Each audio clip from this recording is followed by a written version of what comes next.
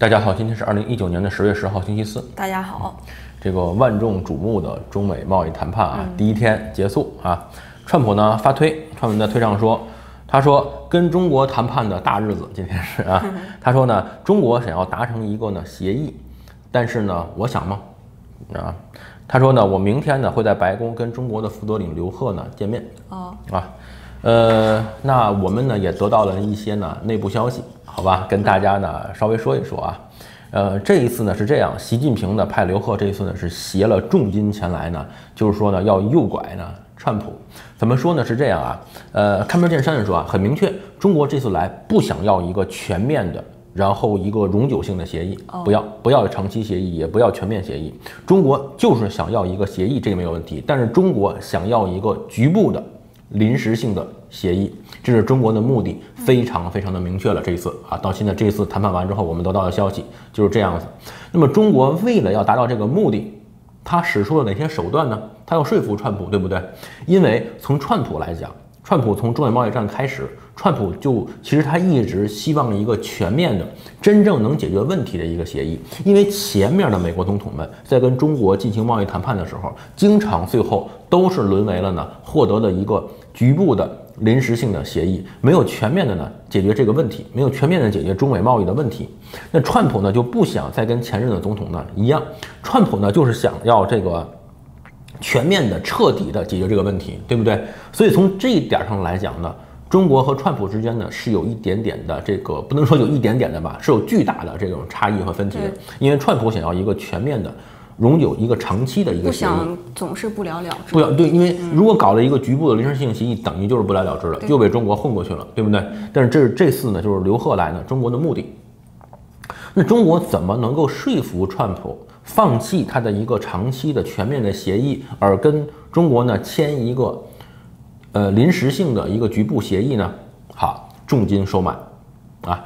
这一次刘贺是带着支票本来的啊，就跟川普咱说好了，你只要同意，咱们就签协议。这个协议里咱们可以签，就是说在未来的，比如说一年到。两年的时间里吧，今今今天是十月，对不对？可能那就就是一年吧，一年到一年半的时间里，我们承诺购买多少多少多少多少每个农产品，给你买什么什么什么东西，你只要同意，这支票本我们拿来了，现在就给你签支票，等于呢就是重金呢来收买川普。好，那中国的目的和他的手段我们说完了，他要达到这个目的，然后呢他使出来了呢就是重金收买、重金诱惑这么一个手段。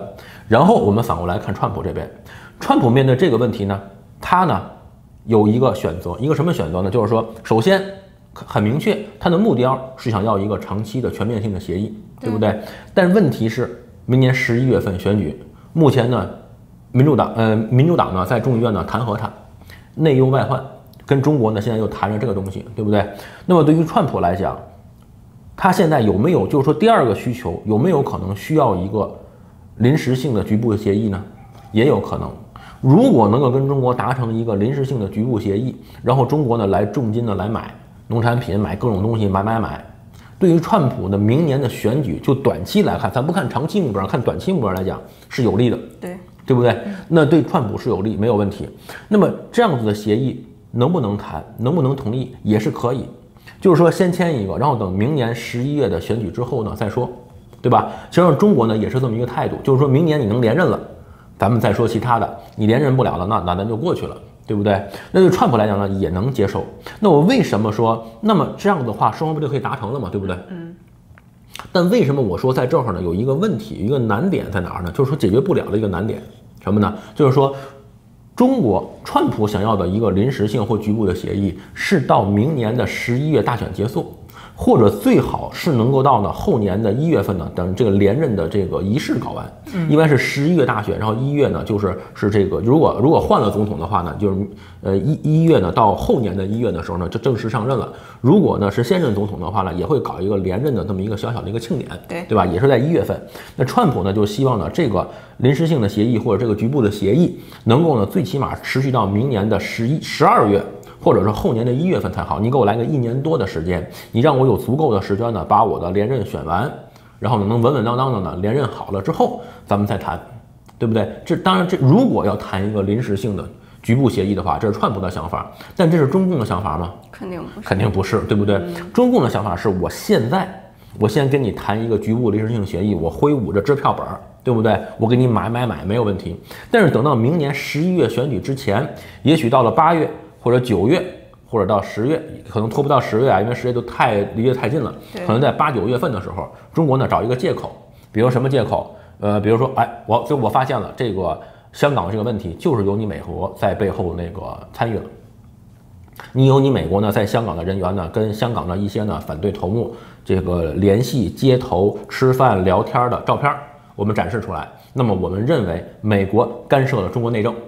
那么据此，我们不再承认，就是说之前的之前的这就比如说就是今年的对，等到明年八九月份的时候呢，就不承认今年十月份现在签的这个临时协议了。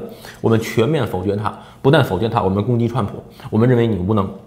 你的这场中美贸易战对美国经济、对中国经济、对全世界经济都造成了重大的伤害，啊，我们不但我们在这个这个短期协议我们不承认了，你因为你你你你干涉我国内政，对不对？而且不拿香港找借口，拿台湾也行。比如说，我认为你你现在在台湾，比如你卖给台湾武器，或者你军舰从台湾过，或者你又有你的官员跟台湾的哪个官员见面了，对不对？我们认为你干涉，这是中国内政。我们就在鸡蛋里挑骨头，总能找出借口来，总能找就随便找，或者你这个什么制裁我新疆官员了，你干涉我国内政，甭管怎么着，反正你干涉我国内政，你放了个屁，你干涉我国内政，你他妈熏着我了，你知道吗？我随便找个理由借口，我就把它推翻，到明年八月份推翻，推翻之后我全面给你开战，干你。然后民主党马上上来说，你看我就说吧，川普无能，他被中国骗了，跟中国这样搞就不行，就让我们民主党来。然后全面的在十一月大选两三个月之前，跟民主党一起掀起波澜，干你川普，让你连任不了。有没有这个可能性？有。所以这就是川普的问题，就说这个临时性的局部性的协议，还有中国的这个支票本，哇，你看这里面都是钱啊，刘浩哗哗哗，看支票本吧，啪啪啪，哎，兄弟，只要签了，马上钱钱钱，money money money 就给你啊。川普在那看着呢，哎呀，就想，哎呦我的天，就跟那个耗子，一个大胖耗子，看见了一个气死一一个老鼠夹上摆着一个奶酪，而且那奶酪吧还是烤过了的，香喷喷的，然后上面有烤过的嘛，热腾腾的，冒着热气，然后有一点化了，哇，下边是奶酪，上面那奶酪化了，再往下滴的那个奶酪上闹汁，川普这大耗子，哇，哎呀，就看着这东西啊，就想吃，是不是想咬？但他也明白，这口只要咬下去了，对不对？这个老鼠夹子现在不会砸下来，但是到明年八九月份他大选之前，这老鼠夹子肯定得翻下来，啊，那么你能不能把它吃完，就是个问题了。好，那分析到这之后呢，川普有两个选择，一个选择呢就是这样子，我拒绝。我不要你那奶酪拿走，我你别给我看，我不看，我连看都不看，我看了我也馋，对吧？我也不看，你甭拿你那支票本在那跟我晃荡，我我我不要，我就要一个呢解决问题的一个全面的长期的一个协议，嗯，我要解决问题，我不想跟你再这么玩下去了，这是猫捉老鼠玩来玩去没意思，对不对？另外一个另外一个选择就是说呢，同意签一个临时性的协议，因为我认为什么呢？你现在反正你支票本来了，对不对？我昨天也说了。现在再谈，如果谈不拢的话，对双方的经济都有重大的影响，股票肯定会跌。如果这一次谈不拢，那么美国股市肯定又又又是大跌。这个川普是不想看到的，因为马上要选举了，对对不对？因为如果不能有一个协议的话，如果又又闹掰了的话，不光是股市，对美国经济、对中国经济都有重大影响。而且马上呢，十月五号又要再加关税，所以呢，对于川普来讲，就是说能不能咬住牙？坚持一个长期的、全面的协议，是一个是一个巨大的一个诱惑，这考验他的心理的承受能力，对不对？那么有没有可能先接受这个呢？从我们刚才分析，应应该是不行的，对不对？因为你如果接受了一个临时性的局部的协议的话，那明年七八月份、八九月份的时候，中共到时候打你的时候呢，你就隐患，埋下隐患，你很你很被动，对不对？但是呢，有应对方法，就跟下棋一样，一旦我知道了你下一步要走什么的时候。我很确定了，我看明白了你要干什么的时候，我总是能有相应的应对的方法来给你应对。那什么方法呢？就是这样子。我现在，你不是要你不要害我吗？没问题。这奶酪呢，我先吃了，嗯，知道吗？糖衣拿下，炮弹打回去。怎么怎么干呢？这样子，我先给你签，签完之后你支票本，对不对？但是你得跟我说好了，你不能够说你现在买的少，到明年买的多，这不行。你就得下个月就得给我多买。就比如现在十月吧，十一月、十二月，就是说越来越少可以，但是呢，从下个月开始，你就得你就得让我能看见钱，对不对？你不能拿一个假的，因为去年十二月一号在阿根廷传习会也是承诺了购买大量美国农产品，最后也是不了了之了。然后呢，这今年的三四月份、四五月份的时候，刘鹤来也是说了，说这个五五五百吨这个大豆呢 per day 每天啊，也是呢许许诺了半天，最后呢狗屁都不是，对不对？所以川普呢很明白，你又拿着这个奶酪，就这同样这一块奶酪，你又骗了我好几次了，对不对？每次呢都把我大胖手夹了，然后呢我奶酪我都没吃着，对不对？所以这次如果要签的话，你必须得把奶酪给我，最起码就是说不说马上一口让我吃了吧，你先给我一半儿的，你也让我能看见东西。对不对？好看这东西之后呢，我就在十十一月、十二月，我就得到好处。我得到好处了之后，不等到明年八九月份，等到明年三月份、四月份的时候，我率先发难。到明年三月份、四月份时，我好处捞的差不多了，我又争取呢，从十一月、十二月、一月、二月、三月这五个月，我尽量的从中国捞好处，尽量的逼中国买我的农产品、买我的猪肉、牛肉、买东西，让我的农民拿钱挣钱。让我的经济得到好处，得到好处之后，我不用等到八九月份，我到三月份、四月份，三月底、四月初的时候，我率先发难，我找一个找一个什么呢？好，你又在新疆，你你你又抓了一新疆人，你又迫害你你自己的人民，你是刽子手，你是这个恐怖分子，我要打击你，这临时协议我不签了，你放了屁，习近平放屁好臭，熏着我了，我不我我不同意了，我我反悔。反正对鸡蛋里挑骨头嘛，欲加之罪，何患无辞，对不对？反正你能你能说我放屁熏着你了，我还说你放屁熏着我了呢，对不对？你说那屁是我放的，我说屁是你老婆放的，对不对？反正互相互相咬呗。等于到三四月份的时候呢，我率先发难，钱我挣着了，哎，我争取呢这先搞个四五个月，我先从你那儿尽量垮死钱，哎，奶酪呢，反正肯定都吃是吃不了，我尽量夸死，能吃多少吃多少。吃完到三四月份呢，你你那个老鼠夹子还没翻过来呢，我他妈先撤了。撤完之后我都呃赶紧骂什么破奶酪，一点都不好吃，你知道吗？你你你那不是美国奶酪，你那中国人做的那不行。嗯，反正反正甭管怎么着吧，就是哎，你打回去，打回去之后呢，开始呢群情激愤，知道吗？不等你中国和民主党想要向我发难，我先给你发难。然后我就说你跟民主党串通好了的，这是一个陷阱，你们想加我，你们一丘之貉。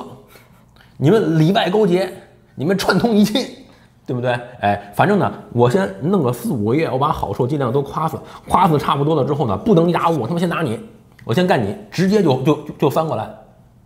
这个对川普来讲呢，也能接受，没有问题吧？好，那么现在摆在川普的面前呢，还是又是两条路，一个做一个呢正直的、善良的人，诚实可信的人。听着就不他妈不像川普，你知道吗？听着就不像川普。然后呢，就告诉中共不行，我要一个呢长期的全面的协议。你拿这种支票本来诱惑我，这个不行，我不接受啊！糖衣炮弹，我糖衣炮弹都不要，不行啊！这就比较正直、善良、可信啊。另外一个呢，就是说呢，像我刚才说的，就是说你不是要骗我吗？对不对？你们想拿拿临时协议来算我吗？好，我呢就是呢借力使力。哎，以其人之道呢，还治其人之身。行，糖衣我留下，炮弹打回去啊。那么选哪个对于川普比较好啊？表面上看起来，第二个对于川普更好，更符合呢川普的口味，是不是？口味比较重 啊，这大胖子啊，口口味比较重啊。但是呢，啊，我希望白宫的这个翻译人员尽快把我的视频翻译总结出来，给川普啊递上去，让川普知道啊。第二个其实不太好。为什么？嗯，就刚才我说，就下棋，下棋这我一旦知道你这一步要走什么了嘛，我下一步就可以应对你了，对不对？哎，我就可以先发制人，我就可以应对你这一步，没有问题。但是呢，就下棋的时候呢，我们通常是这样子，我能够简化局势，就是说这棋我一定赢，嗯，对吧？因为我实力比你强，比如我现在大子，我就是比你强，我实力比你强，我大子，我比你大个，比我我我比你多个车，对不对？然后呢，我还多几个小卒，对不对？我明显的是是是是。是赢的这个骑士了，你呢？现在想赢是不可能了，你想求和了，对不对？在这种局势之下，稳妥的做法是什么？先为不可胜，以待敌之可胜。这棋谚里的也是《孙子兵法》里的，什么意思呢？就是说我先先为不可胜，就是说我要先要做到你不能战胜我，然后呢，以待呢你出现了漏洞呢，以待敌之可胜，好吧？先为不可胜呢，以待敌之可胜，就意思就是说什么呢？我要简化局面。因为呢，局面如果太复杂了的话，有可能出问题。嗯，对，走漏了一步，对不对？虽然我可能大你一个车，但是你还要你两马两炮一个车，你还骑我六个子儿，你你五个大子，对不对？我可能多了几个卒，但是你觉得够杀？不要说两马两炮一个车，你就还剩一副，你就还剩车马炮，你还剩一副，其实这棋都够杀了，对不对？那如果走不好的话，可能我大你一个车，但是如果没走好，一步没看清楚，局面比较复杂，没算清楚的话，我有可能出问题，对不对？那在这种情况之下，我大子明显占优的情况下，怎么办？我简化局局势，怎么简化局势？跟你对子儿不就完了吗？对不对？对了，马对了，炮对了，车对了，一个一个对，逼对，全对完，对完了之后，你完了没有了吧？我就比你大。我我最后我可能我大你一个车，我一个车带几个卒，我够赢了。一个车带俩卒，不就你不就结束了吗？嗯，对不对？最最简单啊，那那那等等到你什么都没有，都被我对光了之后，你没有杀了嘛？你光剩那个是是，你光剩士象权了，对不对？你什么都没了，你还杀个屁？那么都全都过不来，连河都过不了，对不对？你还拿你还能拿老老将顶死我们，填死我吗？对不对？你说你不你就完了吗？我简化局势嘛，对不对？因为我现在明显优势，我就简化局势。那现在这两条路摆在川普面前就是这样子。就是说，一个就是说我直接拒绝你，对不对？我直接十五号加关税，就是强硬手段，我逼你就得跟我签一个长期的全面性协议。这个相对来讲不那么复杂，知道吗？是会有伤害，就对子嘛，等于我的股市也在下跌，我的经济也受伤害，你也有，大家都在都在伤害自己的子弟，嗯，对不对？这是一个对子的一个情况。如果选这个呢，就不对子。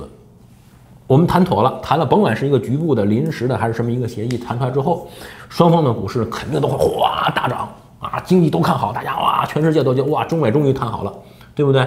这个呢是不对子，但是局势呢会非常的混乱，这个就不好说了。明年你说你想率先发难，人家可能还有其他的想法，对不对？就是说你。因因为是这样的，你明白他要做什么了，你有了应对之后，他也明白你要做什么了，他又会有再有其他的应对。嗯，因为川普一定要明白，虽然你的幕僚在尽快的把我的视频翻译成中文给你啊，习近平呢也天天的在那扒头看着呢。嗯，哎，说着说久了挺像真的，你。说越说越像真的，自己我自己都相信了。说着说着自己都信了。说说哎，自己都信了。嗯，管怎么着？就说这意思啊。反正你想啊，你能想到的，对方也会想到，对不对？所以局势一旦混乱了之后，不见得对你有利。尤其是什么呢？你现在处在一个必胜的一个局面。举个例子，就像台湾一样，蔡英文现在。明年就是呃今今年的大选对吧？蔡英文现在几乎可以说处于一个呃是是明年明年一月份啊，我说错了，不不不是不是今年是明年明年一月份啊，呃咱别别口误，因为有有有的人专门挑这种小毛病，你知道吗？明年一月份的台湾大选，蔡英文现在来讲处于绝对优势，是几乎是必胜的。所以对于蔡英文来讲，蔡英文想干什么？简化局势哦，让少的人进来。假如说现在郭台铭宣布参选了，柯文哲宣布参选了，宋楚瑜宣布参选了，王金平也宣布参选了，这蔡英蔡英文不利，为什么呢？局面太混乱了，一下进来这么多人，你知道吗？这边再有吕秀莲，吕秀莲没事再卷卷他，然后大家都在攻击，这个局势就打乱了。对于蔡英文来讲，实际上是不利的，乱局反而对韩国瑜有利，对不对？对于韩蔡英文现在来讲，他干什么？简化局势，最好的就是郭台铭不要参选，柯文哲不要参选，王金平也不要参选，吕秀莲最好就赶快就失败了得了。这么大岁数了啊，这么大岁数了你是不是 啊恨得牙痒痒？对吕秀莲，不不他也无所谓啊，吕秀莲也也掀不起什么太大的风浪来，对不对？反正对于蔡英文来讲呢，就是希望简化局势，参选的人越少越好，最好最好的结果对于蔡英文来讲就是蔡英文跟韩国瑜单挑，那就完了，那就稳了。稳稳了，这棋就就就就稳了嘛，稳拿把掐，对不对？这一旦乱了就不好。所以现在对于川普也是，但是呢，反过来对于韩国鱼呢，韩国鱼现在处于劣劣势，绝对的弱势。对于韩国鱼来讲，现在需要什么？就是把水搅浑，越乱越越乱越好，最好赶快。郭台铭也来，呃，吕吕秀莲、赖清德，你最好赖清德也宣布参选，都来啊！陈水扁，陈水扁来来来，再选一波老爷子，来来，那换个看李。李登辉选不选？马英九回来，来接着来，对不对？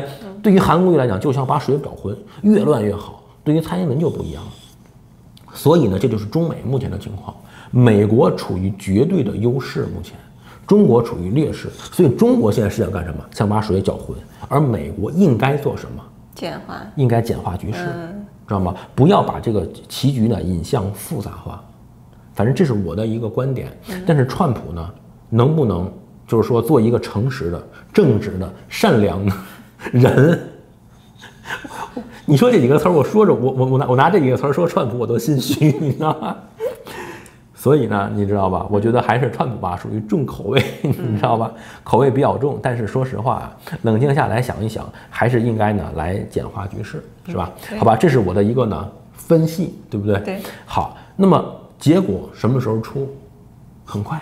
嗯。你有没有发现，我最喜欢预测这种东西了，就是迅速性就出结果，就出结果。嗯。十月十五号，哦，今天是十号，就还有五天，加不加关税？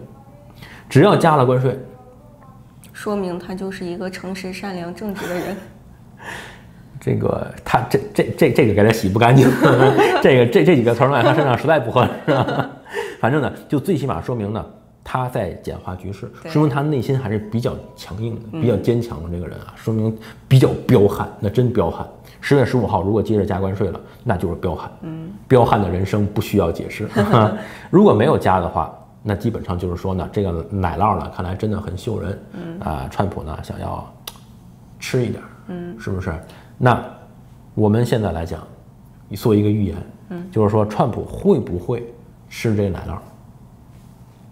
我我是觉得，如果中方提供的 offer 足够吸引的话，川普会妥协的，因为他要呃选举连任选举，他是要先看这一点，而且双方的股市的压力也会让他就是先妥协一下，所以我觉得他不会特别强硬，因为政治这个东西实在是太复杂了，双方的博弈不会说我就跟你干到底，但是就是会如果能妥协，如果能暂时的休战一下，他也会休息一下的，我是这么觉得。好，你看啊，首先你说你的前提就是中方足够诱人，对？不对？那我现在告诉你一个内部消息，据我们现在修脚的啊，师傅，哎，师傅，修脚的师傅传来的消息啊，这一次刘贺开出来条件非常诱人，比去年的十二月份，比今年的这个呃那个就是那个五百吨 per day 还要诱人，而且还要真实可信。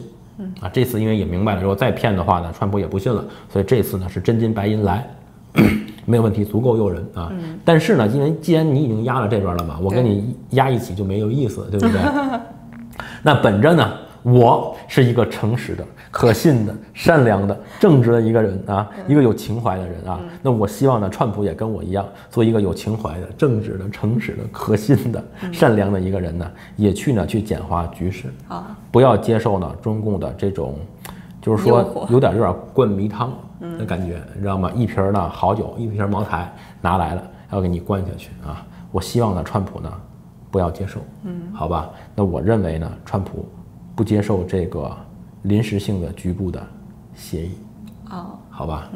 唉，虽然说拿情怀这两个字儿去框川普吧，拿拿情怀两个字儿预测川普吧，我就觉得心里发凉吧。